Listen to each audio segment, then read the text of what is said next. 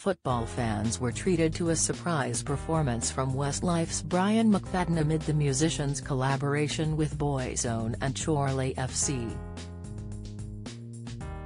As the Mirror exclusively revealed earlier this week, the Flying Without Wings hitmaker has joined forces with Ronan Keating, Shane Lynch and Keith Duffy with high hopes to take the Lancashire-based football club to the Premier League, in a bid to follow in the footsteps of Hollywood's Ryan Reynolds and Shut Up rapper Stormzy.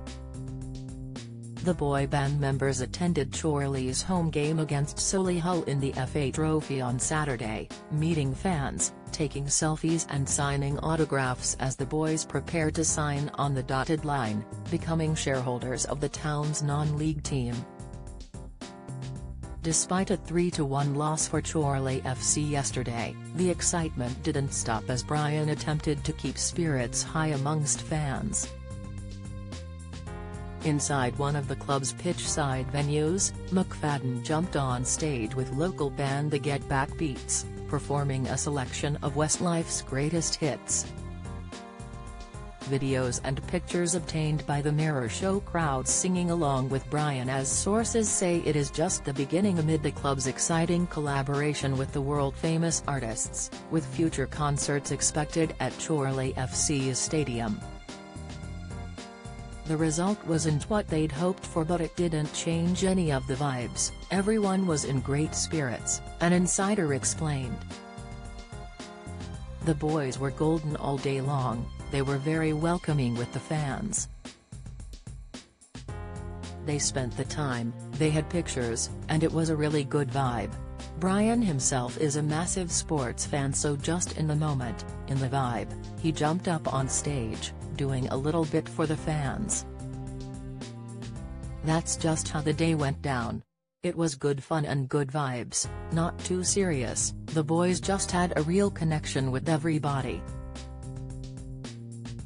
Sources tell the Mirror the club's conversations with the Boyzone and Westlife stars are going very well and that details will be finalized in the coming days. It comes after we were first to report the boy band members' involvement with the club and their plans for the group collaboration. Speaking exclusively to the Mirror last week, Shane said, I'm really looking forward to the weekend, we've got lots of exciting things in the pipeline. Really buzzing to attend the game on Saturday with some of the boys. It should be a really good year ahead. We're all excited to see what the future brings and what we've got planned. TV crews from all over the country headed to Chorley on Saturday as the lads opened up more about their involvement with the club. Shane's business partner bought the club seven months ago and asked Shane to get involved, Brian told reporters. Shane's not really a football man but he knew that me and Keith love football so he got us involved, and Ronan.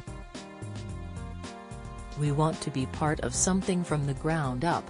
I'm a Manchester United fan myself, I've got season tickets at Old Trafford, but it's a corporation.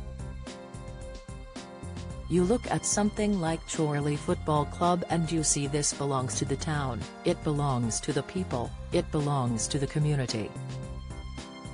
For us to be able to get involved in something at that level and to try and take it to the next level, there's a bit of romance to it. Follow Mirror Celebs on TikTok, Snapchat, Instagram, Twitter, Facebook, YouTube and Threads.